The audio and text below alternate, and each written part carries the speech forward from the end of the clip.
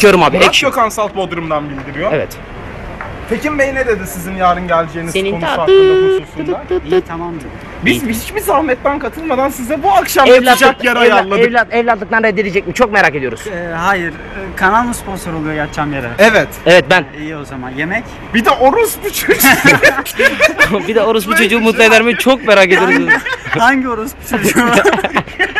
Yok oğlum Orus bu çocuğu mutlu eder. Tamam hangi orus? He, çocuğu o, o? Orus, Orus'u ot alıyor. O pezevengimiz de var. Bu mu orospu? Yok. Hayır. Bence de. Abi bence konuşmalıyız bu duruma. Konuşalım abi hemen. Zoom yapalım. Nereye abi? Orada. Abi yapmayın ya. Ayıp. Ayıp lan ayıp. Ayıp. Dur çekil Abi, bakayım bir de alttan çekeyim bir de. Hallettin mi?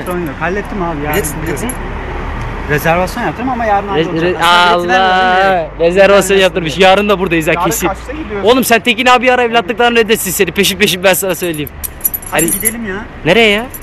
İyiydik burada. Bize de gideriz takılırız böyle biraz. Vallahi o kızlar mızlar parti falan. var ya. Yani Burada ne yapacağız oğlum? Gidelim ya. Ben istemiyorum. Üç gündür sıkıldı sen, tabii burada sen üzerine yat ya. tişörtten mi kullanıyorsun?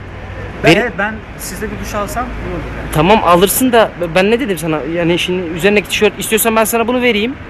Ben çıplak gezeyim ya ben sıkılmam öyle konularda. Her şu an Pantolonumu da verebilirim altında boxer'ım var yani. Hakikaten ciddiyim. yürüyün hadi ya. Nereye yürüyün ya? Dur ya. Öyle yürüyelim biz. Biz hakikaten öyle yürüyelim. abi. Neyse baba moruk dur.